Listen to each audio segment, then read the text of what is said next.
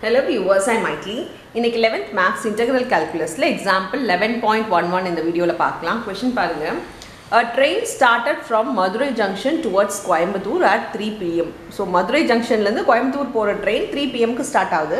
Time equal to zero ஏன்னா start பண்ணும்போது three பிஎம்மில் தான் இருக்குது அதனால் டைம் வந்து நம்ம ஜீரோன்னு கால்குலேட் பண்ணிக்கிறோம். With velocity V with respect to time வந்து பார்த்தீங்கன்னா டுவெண்ட்டி டி ப்ளஸ் ஃபைவ் அவங்க வந்து ஈக்குவேஷனாக கொடுத்துருக்காங்க. வெலாசிட்டியை ஈக்குவேஷனாக கொடுத்துருக்காங்க. Kilometre per hour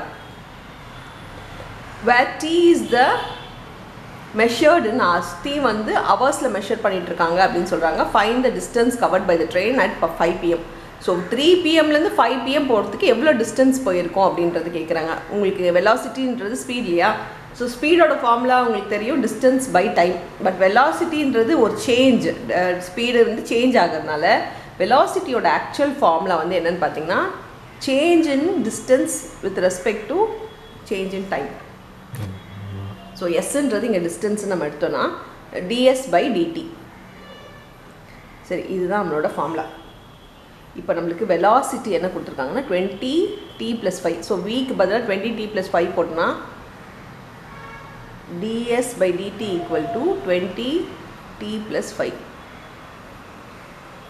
எனக்கு இந்த டிஃப்ரென்ஷியேஷன் வேணாம். இது வந்து டிஃப்ரென்ஷியேஷன் இல்லை ஃபார்மேட்டில் இருக்குது ஸோ டிஃப்ரென்ஷியேஷன் வேணாம்னு நினச்சேன்னா எனக்கு டிஃப்ரென்ஷியேஷன் நான் ரிமூவ் பண்ணணும்னா இன்டெக்ரல் பண்ணால் போயிடும். அப்போ ரெண்டு சைடுமே என்ன பண்ண போகிறோன்னா இன்டெக்ரேஷன் போட போகிறோம் ஸோ நான் டிடி இந்த சைடு எடுத்துகிட்டு போயிடுறேன். So ds is equal to integration 20 t plus 5 with respect to time so with respect to T நம்ம இதை இன்டகிரேட் பண்ண போகிறோம் இங்கே டிஎஸ்க்கு என்ன ஆகிடும்னா எஸ்ன்னு ஆகிடும் டிஎஸோட integration S is equal to இங்கே இன்டகிரேட் பண்ண போகிறோம் ஸோ இது எக்ஸ் பவர் என் ஃபார்மேட்டில் இருக்குது எக்ஸ் பவர் எனுக்கு பார்த்தீங்கன்னா X power N plus one by N plus one ஆகிடும் ஸோ எக்ஸ் பவர் என் இருந்துச்சுன்னா நம்மளுக்கு ஃபார்முலா இதுதான். இங்கே அதே மாதிரி நம்ம டீக்கு போட போகிறோம் டுவெண்ட்டி அப்படியே வச்சுக்கோங்க. டுவெண்ட்டி வச்சுட்டு கோஎஃபிஷியன்ட்னா கோஎஃபிஷியன்ட் அப்படியே வச்சுட்டு பின்னாடி இருக்க வேரியபிளுக்கு தான் நம்ம இன்டகிரேட் பண்ணணும். இன்டகிரேட் பண்ணால் பவரில் ஒன்று ஆட் பண்ணணும். அப்படி ஒன் ப்ளஸ் ஒன் டூ ஆகிடும் பை கீழே அதே பவர் வந்துடும் பை டூ ஃபைவ்க்கு பார்த்தீங்கன்னா ஃபைவ் வித் ரெஸ்பெக்ட் டு டீனால் டீன் தான் வரும். எக்ஸ்ன்னு போட்டுற போகிறீங்க ஏன்னா வந்து வித் ரெஸ்பெக்ட் டு டைம் தான் நம்ம பண்ணிகிட்ருக்கோம் அப்போ வந்து இது டீ தான் வரும். ப்ளஸ் சி இப்போ இது கேன்சல் பண்ணிக்கலாம். இது டென்னு ஆகிடும் ஸோ இப்போ நம்மளுக்கு எஸ் என்ன வந்துச்சுன்னா S is equal to ten T square sorry இது ஃபிஃப்டியா கொஷினில் fifty T plus C coefficient என்ன இருந்தாலும் நீங்கள் அப்படியே எழுதிக்கோங்க. கூட வந்து அந்த வேரியபிளுக்கு மட்டும் நம்ம இன்டகிரேட் பண்ணால் போதும். ஸோ இதுதான் நம்மளோட எஸ் இப்போ நம்ம என்ன பண்ணோம் எஸ் கண்டுபிடிச்சிட்டோம். ஆனால் வந்து find the distance cover by the train at five PM five பிஎம்க்கு எவ்வளோ டிஸ்டன்ஸ் போயிருக்கு? இது எஸ்ன்றது நம்ம இங்கே டிஸ்டன்ஸ்னு எடுத்துருக்கோம். ஸோ எவ்வளோ டிஸ்டன்ஸ் போயிருக்கு அப்படின்னு கே சொல்லி கேட்குறாங்க டிஸ்டன்ஸுன்றது ஒரு ஈக்குவேஷனாக கொடுக்க முடியாது இல்லையா? ஸோ அதனால் என்ன பண்ண போகிறேன்னா ஃபஸ்ட்டு இந்த சி வேல்யூ கண்டுபிடிக்கணும். சி வேல்யூ கண்டுபிடிக்கும் போது நமக்கு ஸ்டார்டிங் என்ன தெரியும்னா இப்போ ட்ரெயின் கிளம்புது. கிளம் ஆரம்பிக்கல. இன்னும் கிளம்ப ஆரம்பிக்கல. ஸ்டார்ட் ரெடியாக இருக்குது ரெடியாக இருக்கும் போது ஸ்பீடு வந்து ஜீரோவாக இருக்கும். டைமும் ஜீரோவாக இருக்கும். ரெடியாக ஸ்டார்ட் பண்ணும்போது அட் த்ரீ பிஎம் த்ரீ பிஎம்மில் இன்னும் ஸ்டார்ட்டே ஆகலை. த்ரீக்கு அப்புறம் தான் நம்மளுக்கு ஸ்டார்ட் ஆகுது.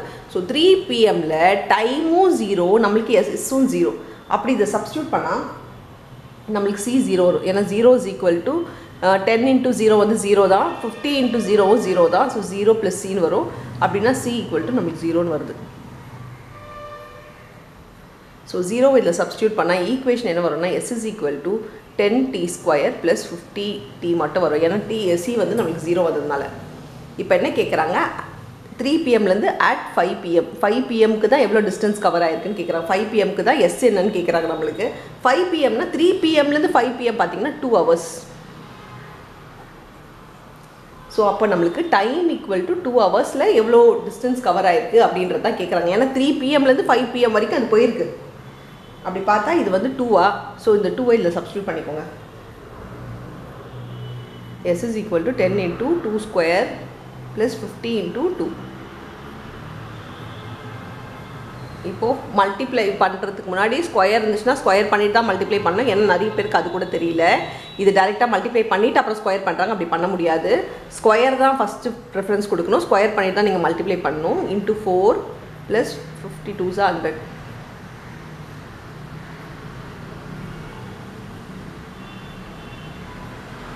ஃபார்ட்டி ப்ளஸ் ஹண்ட்ரட் இது பார்த்திங்கன்னா நம்மளுக்கு S is equal to one forty kilometre ஏன்னா நம்மளுக்கு கிலோமீட்டர் பர் ஹவர் கொடுத்ததுனால ஸ்பீடை வந்து கிலோமீட்டர் பர் ஹவர் கொடுத்ததுனால டிஸ்டன்ஸ் வந்து கிலோமீட்டரில் இருக்குது ஆர் வந்து டைம் வந்து ஹாரில் இருக்குதுன்னு அர்த்தம்.